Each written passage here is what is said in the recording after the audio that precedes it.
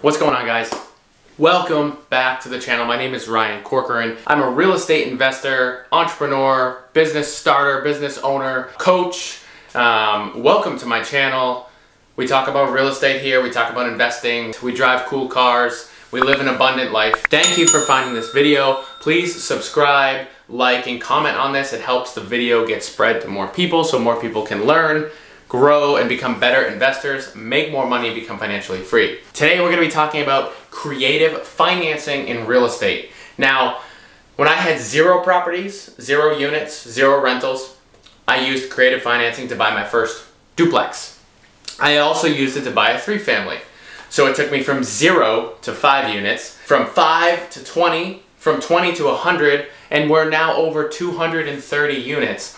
Every single deal has been creatively financed. I have not done one single deal that is just go to the bank, get a 75% loan to value, bring the 25% down, own the property, and be done with it. Not one single time have I done that. Creative financing is the most important skill you can develop after finding really good deals. And the reason for this is if you can find a really good deal and you can pair it with creative financing, you can really take down any deal any amount of deals, scale really quickly, and we're gonna go over how I was able to do this, what strategies I've used, and different ways you can merge them together to take down these really great deals. Number one, always try to use bank debt. Bank debt is the cheapest debt you can get. Right now it's at like four and a half, five percent. It was at like three, three and a half percent for, for commercial loans. That's completely unheard of. That does not happen, right? And so now it's up a little bit, and people are kind of freaking out in the in the in my market at least. But hey,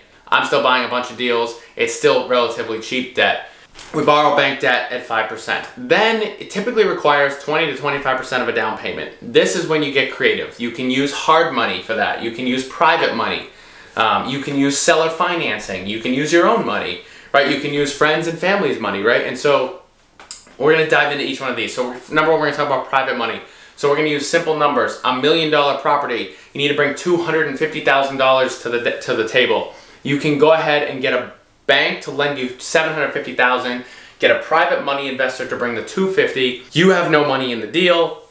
The cash flow pays the private money investor. You do rehab on it, you refinance that property, you pay off the private money investor after that after the 12 months of the seasoning period. You've increased the rent significantly enough now I know it's not this simple. You got to know your market value. You got to know what it's to be as complete.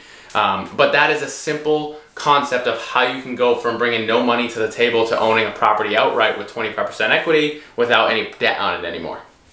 Number one. Number two, you can purchase it with hard money right up front. They'll usually do 80 or 90% loan to value, meaning you only have to bring usually 10 to 20% down.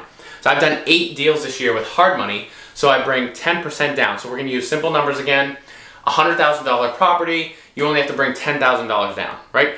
A million dollar property, you only have to bring $100,000 down. Hard money is a high interest rate, usually 8, 9, 10%. Okay, so, and they're all gonna be interest only for the most part. So this is super awesome because a lot of the times they'll fund the rehab as well. You just have to be super careful that you know your end value because you do not wanna get stuck in a really high interest rate um, loan with bridge with bridge loan, hard money loan, whatever whatever you want to call it, if you can't refinance in and, and get your equity out.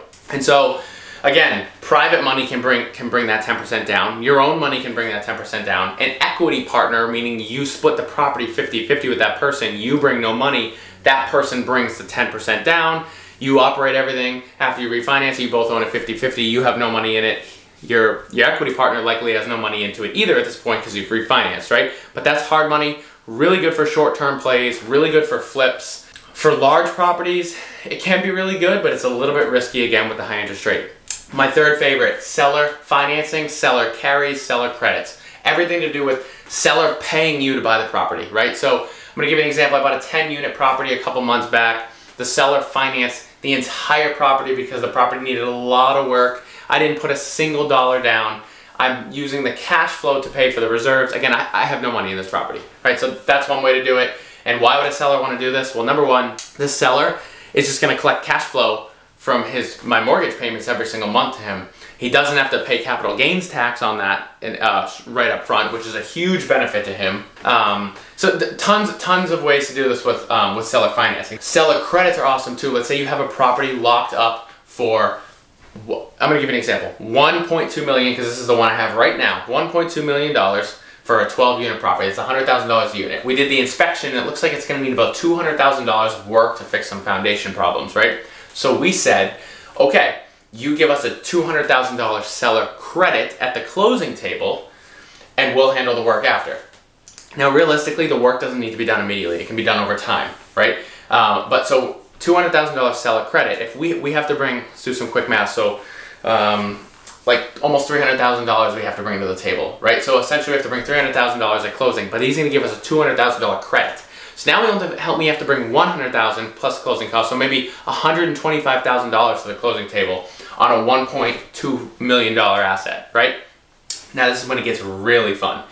So you used seller credits using regular bank debt who's gonna finance our rehab for us and we're bringing in a private money investor to cover that 125. So we just merged three different creative financings into one deal. And because this deal is worth is worth way more than what we're buying it for, when we refinance this, we're get we, when this property is refinanced, that private money lender is going to get paid off. The seller credit that we use is literally just going towards a down payment. We're to have 25% equity in this $1.8 million asset with zero dollars of our own money into it. And this, my friends, is how you get the ball rolling and scale your real estate investing portfolio using the BRRRR method and using creative financing. Now, there's a ton more creative financing options we can go through. I'm gonna stop here for now because those are my three favorite ones. I will do videos in the future on more. That, my friends, is gonna conclude the end of this video. Please like and subscribe again. I really appreciate it. Um, leave some comments and we'll see you next time.